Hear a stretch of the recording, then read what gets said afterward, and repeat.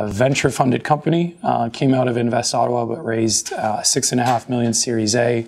Um, co-led by Monsanto Growth Ventures and Avrio Capital uh, this past March, and have basically begun expanding uh, the new way of selling grain. The strategic plan has got a couple really interesting things. I mean, so as an entrepreneur who kind of went through the incubator space at Invest Ottawa, um, I'm personally super excited to see that that program is going to be growing and expanding and continuing to improve because uh, as much as we love what we do every day, it's also awesome to have opportunities to either mentor or just see other startups bloom.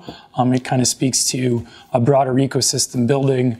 Um, you know, it's nice to have you know one or two big success stories, but then you know up and coming companies like us, but also the next generation of new companies starting. And so anything that Invest Ottawa can do to foster that um, and focus on as part of their new strategic plan is, is, is very exciting to me. I'm very excited for this new process to come on board at Invest Ottawa because we do know that having a seamless process where we can have access to resources as soon as possible and as soon as needed, as well having access to investors very easily, having people that can help us in the hard market that we are, which is life science, having all the resources needed on time will be extremely significant for success and be able to grow well, be to where we want it to be.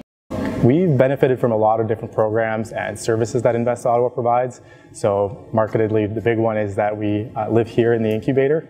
Uh, we also get terrific mentors and opportunities to profile ourselves.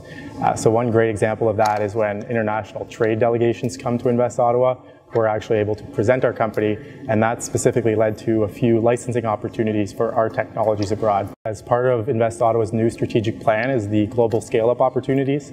Uh, so things like, for example, Mike's recent trip to China uh, we were able to meet potential investors and uh, we're being connected to that. So chasing opportunities like that is, I think, really significant for companies based out of the Ottawa region to really create sustainable revenue and be able to grow uh, here in Ottawa. As a family-owned traditional bricks and mortar store, we see more and more companies moving into the digital world in new and exciting ways.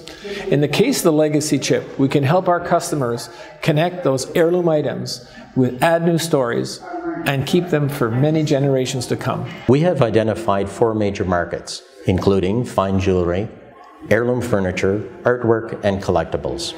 These markets alone represent over $10 billion in revenue. Our goal is to tap a significant portion of those heirloom pieces. The digital world will allow us an amazing opportunity.